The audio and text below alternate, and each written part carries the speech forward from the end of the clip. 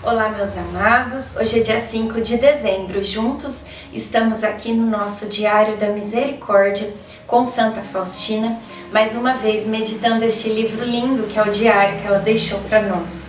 Hoje nós vamos ler e partilhar, né, meditando, o parágrafo 948.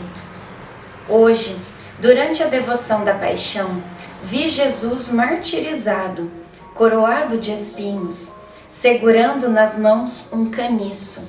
Jesus estava calado e os soldados rivalizavam em atormentá-lo. Jesus não dizia nada, apenas olhava para mim. Nesse olhar senti o seu martírio, tão terrível que nós nem fazemos ideia do que Jesus sofreu por nós antes de ser crucificado. A minha alma estava cheia de dor e saudade. Senti na alma uma grande aversão pelo pecado. E a minha menor infidelidade se apresenta como uma elevada montanha, e procuro desagravá-lo pela mortificação e por penitências.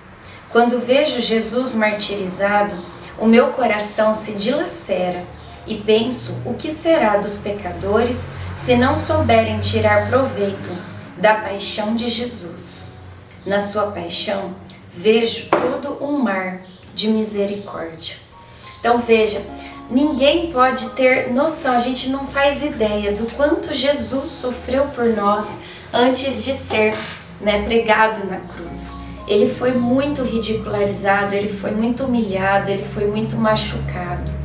E por mais que nós imaginemos que tudo isso aconteceu, só ele sabe a dor, o sofrimento que ele padeceu por cada um de nós.